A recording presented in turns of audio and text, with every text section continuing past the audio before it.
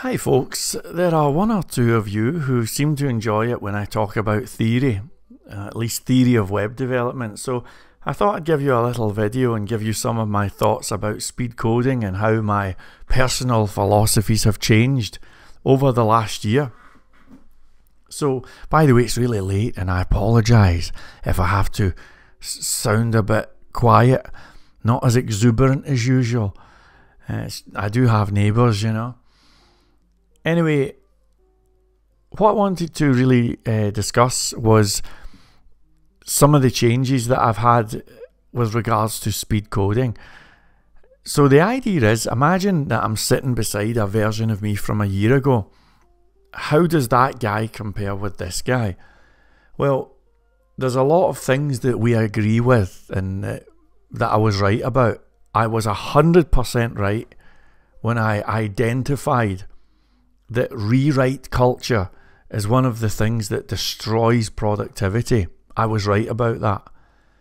One of the things that I did not realize last year, this time last year, was the damage that gets caused by frameworks depending on third party libraries.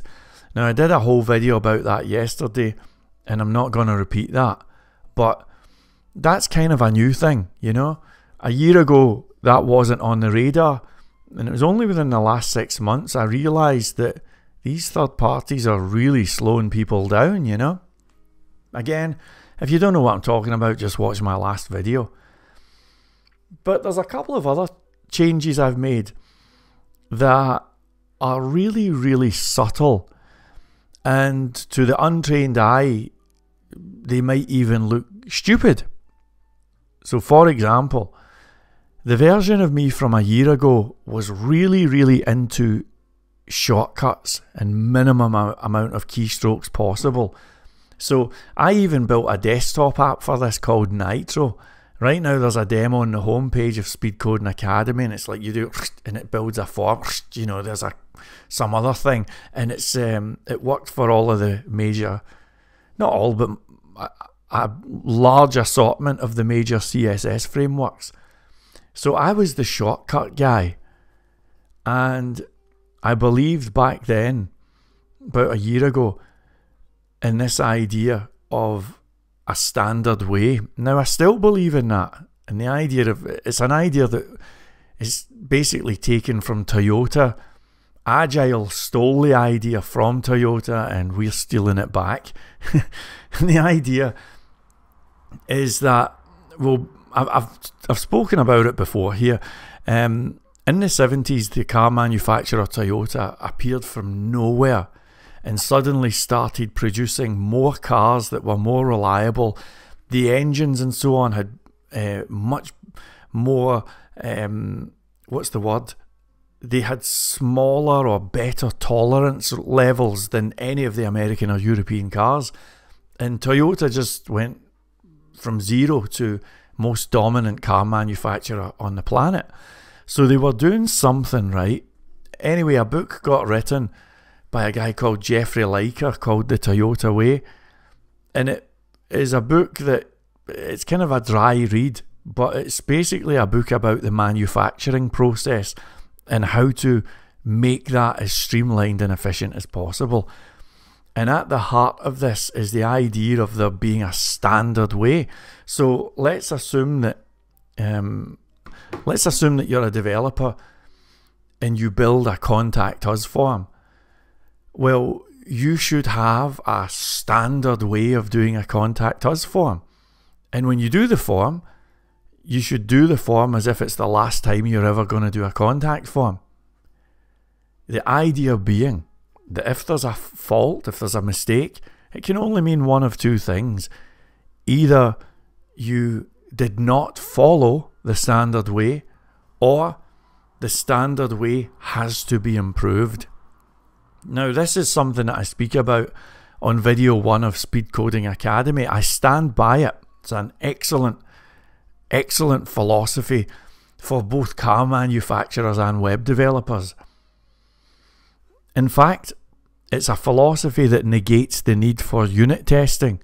Unit testing, and maybe this is a video for another day, but unit testing really destroys productivity. And so the standard way method allows you to get rid of all of that unit testing stuff, which is really cool as well. Now, there is a challenge with all of this. And again, I'm not saying that you should chuck it in the bin. I'm, I'm going to be talking about things that are incredibly nuanced here. And it's not difficult or complicated, but probably most of you won't get, get this at all. Because if you took the version of me from a year ago, sat that version of me beside me now, and you said to the two of us, go build a discussion forum or go build an invoice system or whatever, that guy would be faster than this guy. But this guy is a better developer. And how can this be?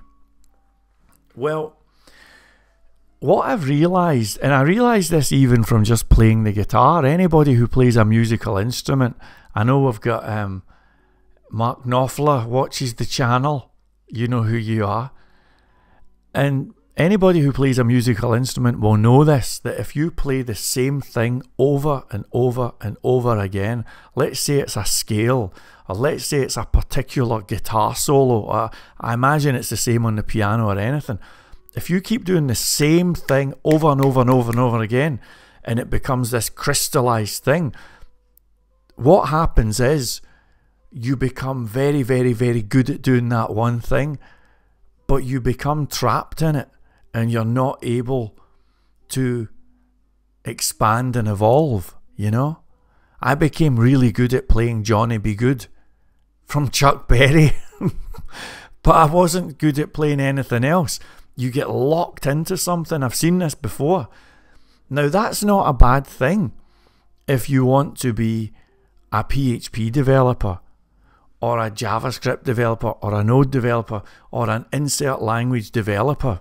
Great, good on you, best of luck.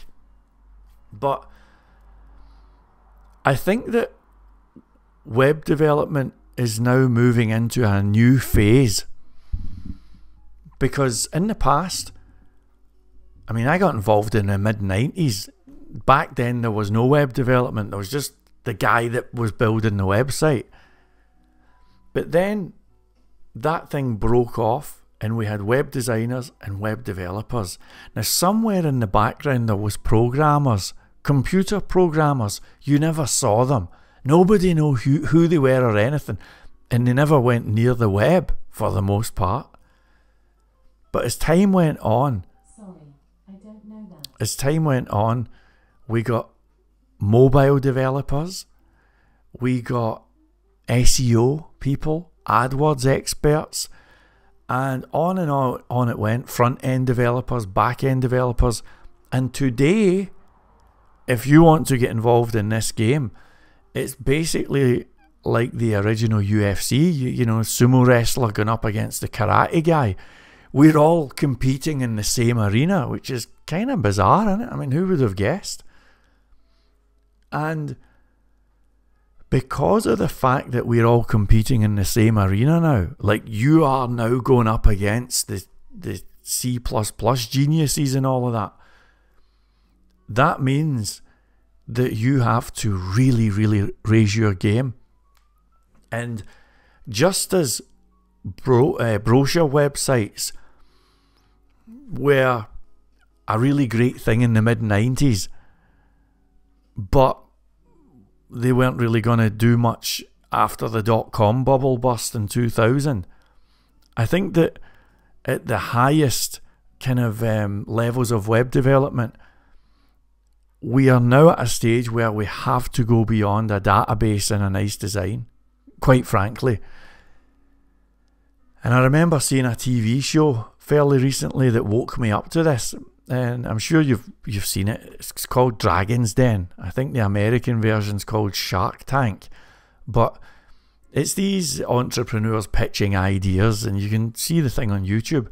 But somebody came in with a really cracking idea for a web app. I thought it was a great idea. And the dragon you know, the kind of rich entrepreneur said, that's a terrible idea. All you've got's a database. And I was like, what? And then I thought about it. I thought, that's actually true. You see, most of the sites I've built, maybe even all of them, the sites I've built that have gone on and done well, have all basically been databases. Somebody once said that a web app is a database skin. Think about that. What a reality check, right? You are in the business of building database skins. Well, here's a thought. Think about the latest apps that you got, maybe even for your phone or anything. I mean, for me, I have an app here that I got for my phone and I, I check it out. I don't know why. I find it interesting. I have this app and let me show you it. I don't know if you'll see it on this screen. Here it is here. I look at this app all the time and what it does is it shows me the position of the International Space Station. And I get a little alert when it's flying overhead and I can go and look at it. And then it shows me a radar. Okay, and on the radar, I can look at the angle and the time and I can see where the moon is and Jupiter and everything. Now, it's not even particularly useless, but I like it. And it's a great conversation starter to say, hey, there's a space station. Even random strangers. You know, it's, it's, cool, right? I like it. Now, that is not just a database skin. This thing will tell you the. I mean, right now, the, the space station's going to fly overhead in 20 hours, 51 minutes, and 13 seconds. That's not a database skin, right? That's something else just before coming on, I was looking at uh, a Chrome extension. I was actually looking at a few of them. I'm looking around for a Chrome extension that can help with grammar and spelling. There are a few of them. And again, all of the market leaders for that stuff are using AI. You think about the password managers, the crypto alert stuff that you might want to build, or uh, the stock market analysis apps and all of that type of stuff. These types of apps are beyond a database and a nice design. And I think that the time has come where we have to start thinking in these terms. And if you're going to be competing at the highest levels of web development, and I want to compete at the highest levels, then you're going to have to probably start getting quite serious about becoming a polyglot programmer. That means somebody who knows lots of languages. Forgive me if I'm bragging. I can build Chrome extensions, desktop apps, and web apps. I'm hoping to soon add mobile apps to that list. And I think it's really something that's more than just a a nice thing. As time goes on, I feel as if it's kind of a necessity. Now, to go back to the speed coding, as I was saying earlier on, the DC of last year would have been faster at building PHP apps because he would have been into all shortcuts and all of that. And I don't really use them these days. However, this version of DC is more well rounded than that version. And the truth of the matter is, I don't really want to crystallize anything. I want to stay kind of loose and free, you know, like a jazz musician or something like that, able to improvise and move from one thing to the other. So it's an incredibly nuanced thing. But I'm not quite as regimented as I used to be. So you could have me um, build, I don't know, let's say 10 discussion forums, and every time I build it, I would do the thing slightly differently, you know? And these days, I don't think that's a bad thing. I think it's strangely kind of a good thing, you know. So um, I think these are certainly two areas where my opinion has changed. Again, I'm not into third party libraries, and the other big change is I'm not quite as crystallized as I used to be because I think that we have to get really, really serious about learning other languages. And if you have a crystallized version of doing something and then you move on to Swift or something else or whatever you're into, you're going to run into problems. So I'm all about flexibility these days. I no longer would describe myself as a PHP developer. And I think that's enough for now. I hope you found this interesting. I'll talk to you again soon.